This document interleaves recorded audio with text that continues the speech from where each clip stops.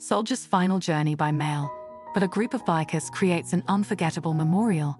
The roar of motorcycles echoed through the quiet streets as a convoy of bikers, clad in leather and solemn expressions, made their way toward the small town of Rockford. The air was thick with anticipation, but behind every visor was a single thought. Had this soldier's final journey, one that should have been marked with honor, ended up being carried out by mail? The story they were about to uncover would not only change their lives, but leave an entire town in tears. Rockford was a town where time seemed to stand still. Tucked away in the rolling hills of the Midwest, it was the kind of place where everyone knew everyone, and life moved at a slower pace. But that peace was shattered on an ordinary Tuesday morning when a package arrived at the local post office, addressed simply to the family of Skeet, Henry Ward. Gabriella Wood, the town's postmistress for nearly 30 years had seen countless letters and packages come through her small office. But something about this one stopped her in her tracks. It wasn't just the weight of the box or the solemnity of the label, it was the fact that she knew the Greens. Everyone in Rockford did.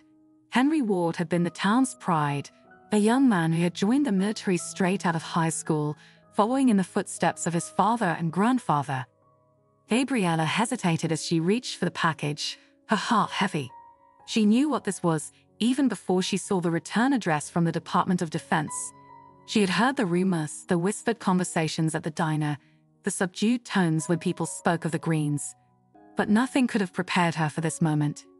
She carried the package gently to the back room, setting it down as if it might shatter with the wrong touch. Gabriella stared at it for a long time, her mind racing. How could this be? Why was Henry coming home like this, his final journey reduced to a box delivered by mail? It didn't make sense, and it didn't sit right with her. As she stood there, lost in thought, the bell above the door jingled, snapping her back to reality. A group of men and women entered the post office, their presence commanding attention. They were dressed in leather vests adorned with patches, their expressions solemn. Gabriella recognized them immediately, the Patriot Guard riders, a group of bikers dedicated to honoring fallen soldiers. Good morning, ma'am, one of the men said, stepping forward. He was tall, with a graying beard and kind eyes. We're here about Skeet, Henry Ward. Gabriella nodded, her voice catchy in her throat. The package arrived this morning. It's in the back. The man who introduced himself as Padraig nodded in understanding. We're here to make sure Skeet Ward gets the farewell he deserves. We heard what happened, and we couldn't stand by and let it go like this. Gabriella felt a wave of relief wash over her. Thank you. I didn't know what to do. It just doesn't seem right. Padraig's eyes softened. It's not right, but we're going to make it right. Can you tell us more about the Greens? We want to do this properly. Gabriella hesitated, her mind swirling with thoughts. The Greens were a proud family, and this was going to hit them hard. But if anyone could help them through it, it was this group. She took a deep breath and began to tell them about Henry, his family, and the town that had loved him so dearly. As she spoke, the bikers listened intently, their resolve growing with every word. They knew what needed to be done. This wouldn't be just another memorial, it would be a tribute that would honor Henry's life and sacrifice in a way that no one would ever forget. But even as they planned, a question lingered in the back of Gabriella's mind. Why had Henry's remains been sent by mail? There had to be more to the story, and she was determined to find out. The Patriot Guard riders set up camp in Rockford, their presence a comforting reminder of the support and respect that Henry Ward deserved.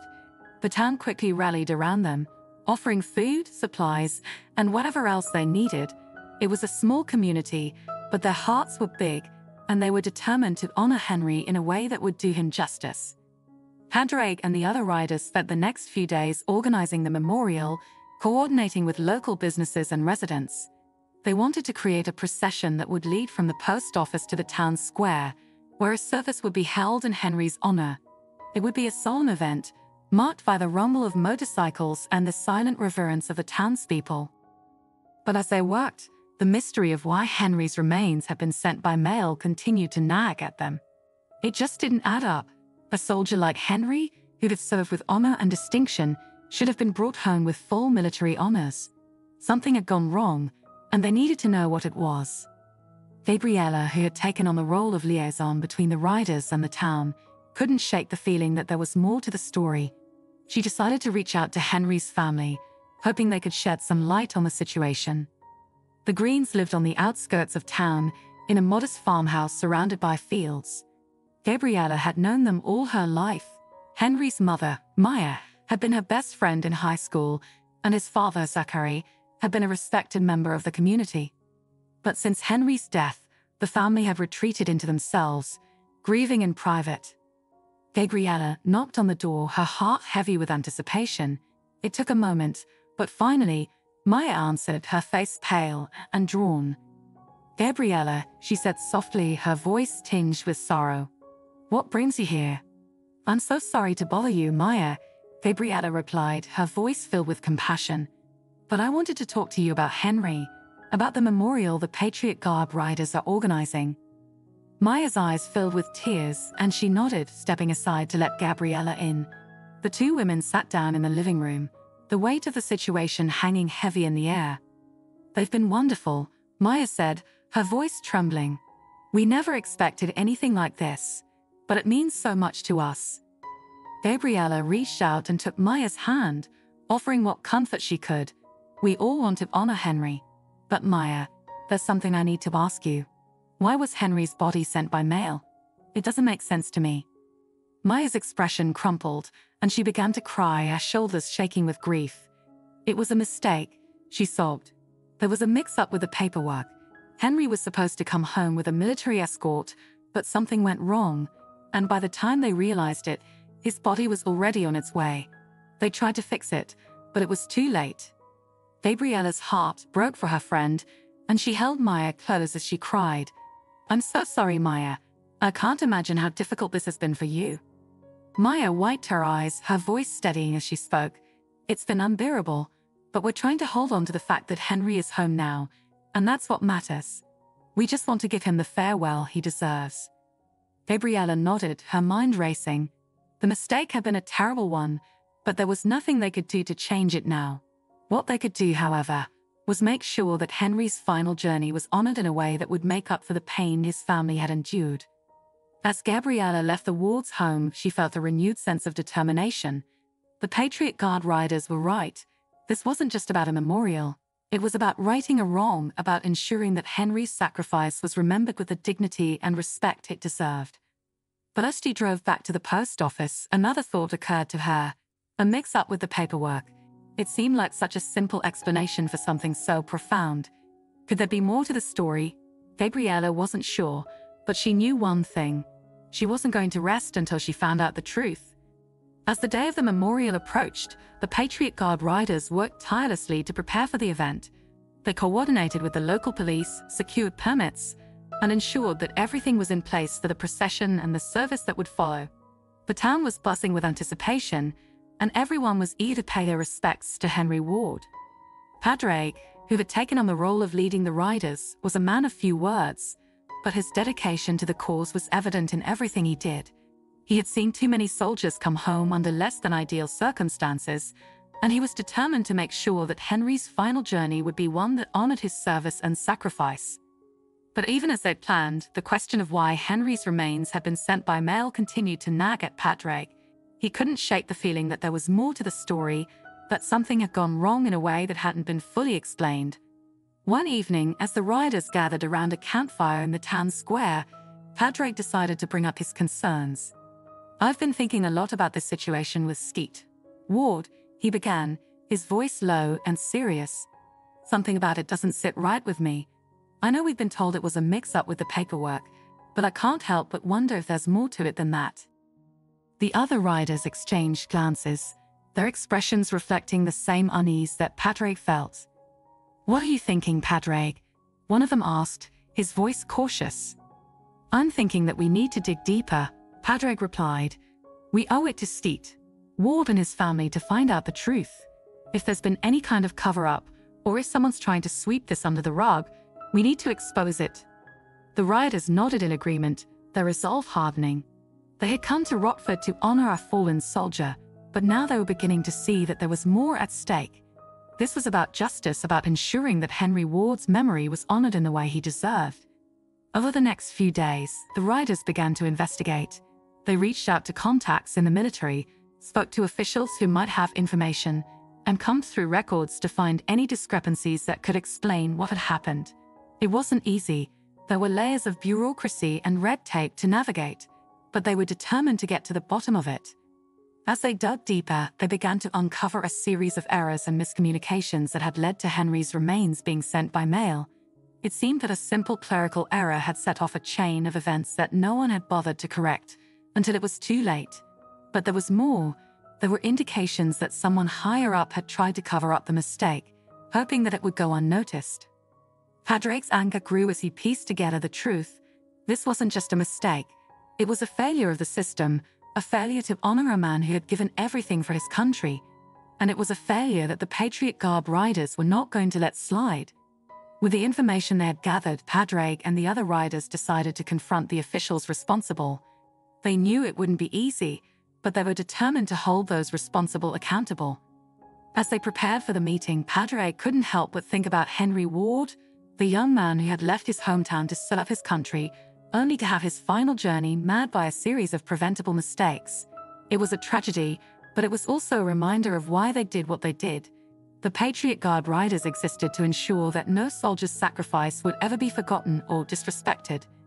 And they were about to make sure that Henry Ward's memory was honored in a way that would leave an indelible mark on the town of Rockford and on everyone who had the privilege of knowing him.